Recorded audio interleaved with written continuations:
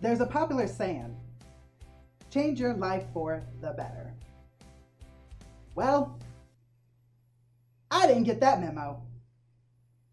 Don't come for me. I got my claws out for you. This kitty doesn't argue. My claws do all the fighting. We're just here to party. We're here to have some fun. Gotta keep clean. You never know what's gonna happen. About to get crazy. Life is a struggle, but my ball stays out of trouble. So, today was a fabulous day. Like always, you know?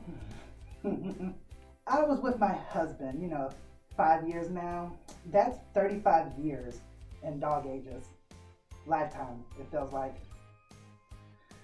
Anyhow, baby, I found this video that you might like. You want to see it? Yes, sure. Show me. You can't see it facing that way. Oh, I sure can't.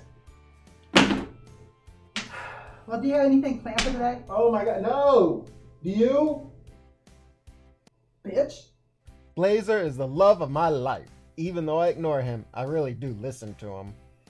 Baby, I'm missing my arm. Mm-hmm. I don't feel ignored all the time.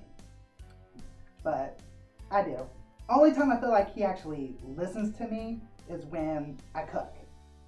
He loves my cooking. Blazzer cannot cook. I'm the one that sweats bullets in the kitchen while he sits on the couch all day watching TV.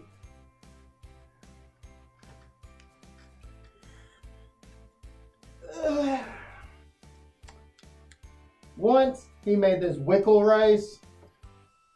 Oh my god. That's all I'm gonna say about that. Hi. So today I'm gonna show you my secret recipe. I went to the Furry Culinary Arts Institute for six years. And I learned this special recipe just for you.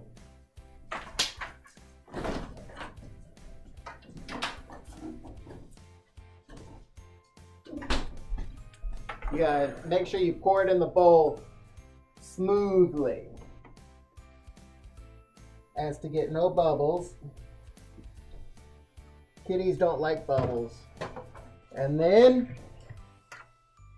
you drink it. Mmm. Mwah!